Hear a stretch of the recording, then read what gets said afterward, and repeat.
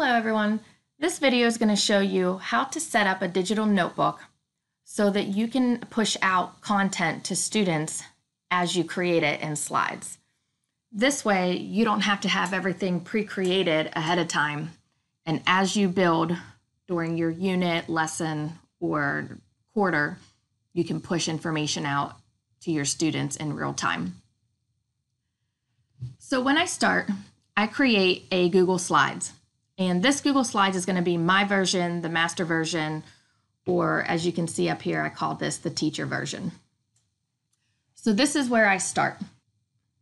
As you can see, I have this saved in a notebook format instead of a normal uh, Google Slides format. So what I did was I went to File and scrolled down to Page Setup and I changed this to custom and made it look like a paper, eight and a half by 11 inches. So it mimics a notebook style. And then I clicked apply. So once I have that set up, I then built my notebook. And what you would do is create all the slides that you would want to push out to your students. But as you can see, the majority of my slides are blank, and that's okay. If you know that, um, I don't know, you're gonna do a journal prompt, for the next 45 days, create 45 or 50 blank slides, and only start with a title page and possibly one or two initial prompts. So then that way the students have the slides, and then as you add content, they can update their slides when you are ready. So now that I have my teacher version, what I do is I actually come in and to my drive and I create another Google Slides.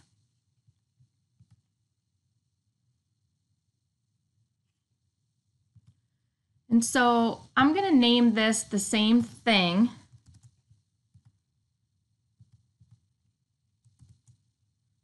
Except instead of teacher version, I'm going to call this my student version. And before I do anything, I want to change my page setup to match my page setup in my teacher version. So again, I'm going to go to File, Page Setup. I'm going to say Custom, do 8.5 by 11, and click Apply. So now I have this in my page setup to mimic a notebook.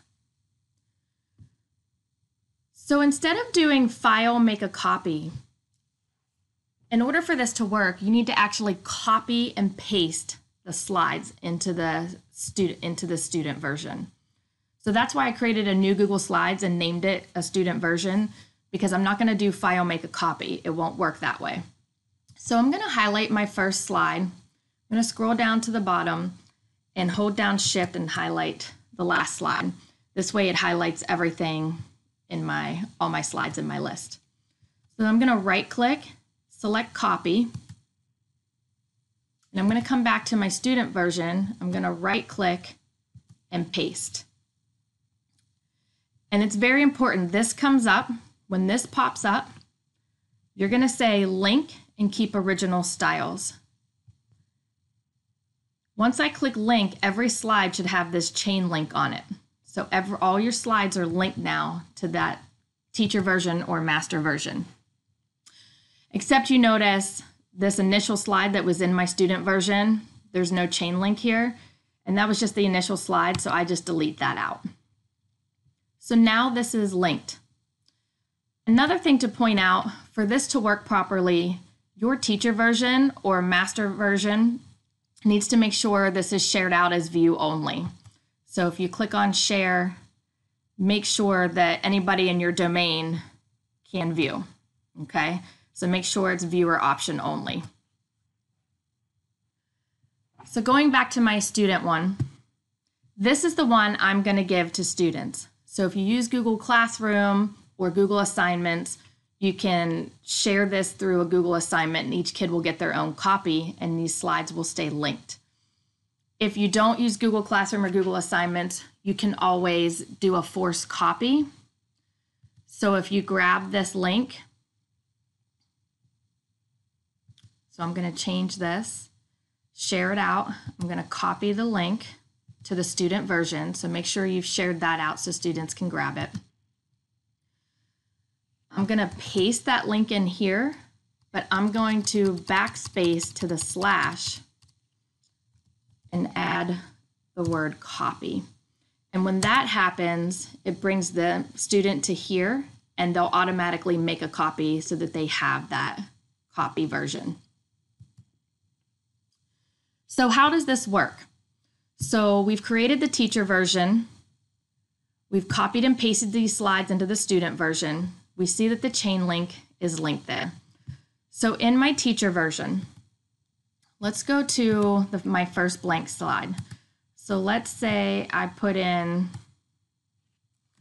here is your journal prompt for today.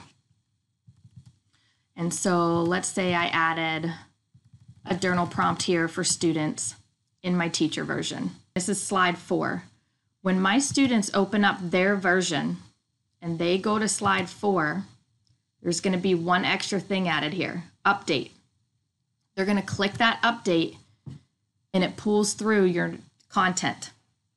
So every time you add content to a slide, it pulls through and links to your original version, which is really nice.